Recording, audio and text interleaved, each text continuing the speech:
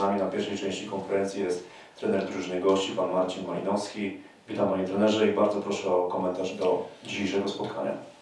Dzień dobry. E, Gratuluję zespołowi z Niecieczy e, zwycięstwa. A jeżeli chodzi o nas, e, trochę mi szkoda jest tego pierwszego fragmentu, pierwszej połowy, bo stworzyliśmy sobie dwie niezłe sytuacje. Ciężko mi jest teraz e, na gorąco ocenić, ale wydaje mi się, że, że szło z tego e, wyciągnąć dużo więcej.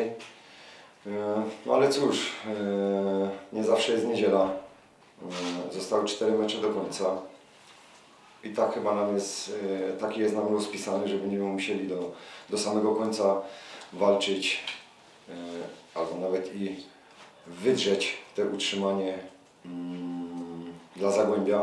Ja mimo wszystko, mimo wszystko, może to jest złe słowo, ale dziękuję chłopakom. Po prostu na tyle nas dzisiaj było, e, było nas na tyle stać.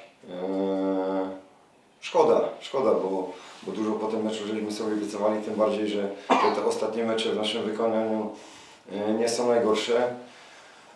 No ale trudno, taki jest sport, taka jest piłka, tak jak powiedziałem, czekają nas cztery, cztery wojny i, i ja wierzę w ten zespół, wierzę w tych chłopaków, że, że podniosą to. Dziękuję. Na drugiej części konferencji prasowej jest z nami trener drużyny gospodarzy, pan Radosław Latal. Witam panie trenerze. Bardzo proszę o komentarz do dzisiejszego spotkania. Tak, dla nas e,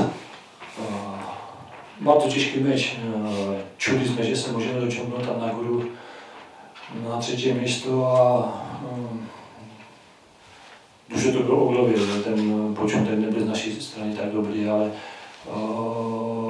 tam pierwszy propozycję w strzeli bramki miała, miała Sosnowiec, ale to jsme tam zrobili jaký byłem przy otwarcie, ale dobrze strzeliliśmy bramkę.